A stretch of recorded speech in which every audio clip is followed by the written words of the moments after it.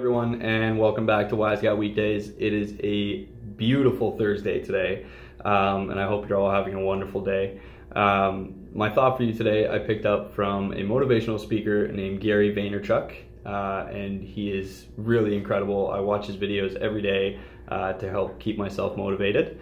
Um, and the thought is that, uh, you know, there's billions and billions of species on this planet, uh, you know, animals and, you know, grass and plants and trees and whatever, uh, that are all sort of living organisms. And the fact that you woke up as a baby human um, is incredible. Like it's one in a billion that, uh, that out of all the things that live in this world, you, uh, you got to be a person. So, um, I think that it's important for us to recognize that right off the bat because you know we're we're so blessed to uh, to be people rather than you know any other living organism on the planet. So um, you know take advantage of that and uh, you know be thankful that uh, you woke up who you are. So thanks. Have a good day.